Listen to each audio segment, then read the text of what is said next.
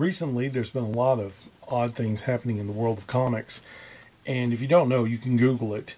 Um, some poor decisions was, was made, um, and because of certain events, a lot of comic book uh, stores are closing down. Some of them permanently. Okay. Now, that's a very sad situation. Things will have to change to revive the comics industry. Now, the comic industry is not dead. Let's go ahead and get that out there. That's another falsehood that's being spread across the internet. Comic industry's not dead. It's not going anywhere. There's been comics since the days of Egypt, hieroglyphics, and there, there will be comics in some fashion or form going forward. For indie creators, we've been told, hey, this is the time, dive in, start making your stuff. Well, I've been making stuff for a while, so if it's okay, I'm going to go ahead and take off where I'm at now. So, thanks for the advice, though. Uh, but one person was saying um, to avoid using public domain uh, characters and materials because of trademark issues. Okay. I agree to a certain extent. Some things you can still use. Like if you were going to do Conan the Barbarian, okay, you have to be very careful of that. It's very strict uh, trademark rules on that. But the first stories are public domain. And if you did the characters that are in those first stories, you could make something else. You could not call the book Conan the Barbarian.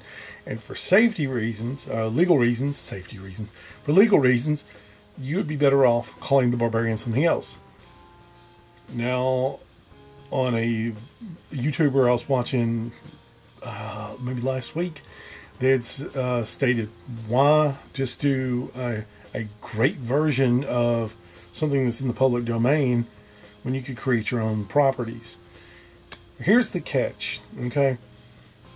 You have to have a very large following to create something of your own and have the audacity to put it out there expecting to sell something. Believe me, I know. I've been doing this for a long time. And I'll create a property, I'll get it out there, and no one cares because it's not something they're familiar with. It's like when you go to the grocery store and you want Mountain Dew and they're sold out of Mountain Dew and they got like 20 generic versions of Mountain Dew. You didn't come in here to buy the generics. So you're not going to touch that. You'll buy like Coke, Pepsi, or something. Just, you know, you're going to get another brand name. You're not going to buy the low grade generic stuff. Indie creators using their own IPs, unless they're famous or already have name recognition, is going to be counted as the generic soda in the grocery store, the generic Coke in the grocery store that's what you'll be counted as. If you're going to create, create something of your own, but first build an audience. Simple as that. Take care. God bless. Talk to you later.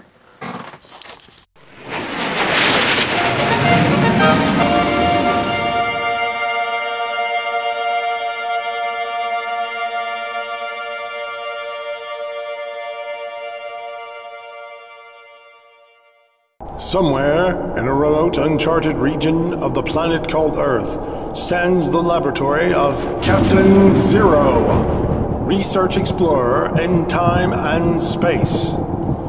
In this secret location, known only to a few in the outside world, Captain Z-Ro and his associates experiment in time and space to learn from the past to plan for the future. Contact has been established. We now transmit you direct to the laboratory of Captain Z-Ro. Please stand by.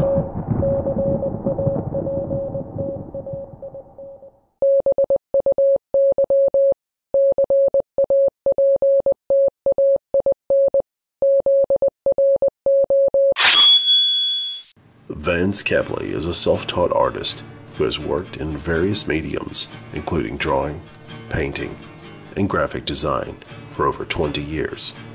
He now has his designs here on TeePublic.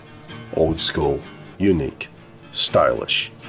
He is also available to help you with your original TeePublic designs. Make sure you visit Vance Capley Art 1972 at teepublic.com. You'll be glad you did.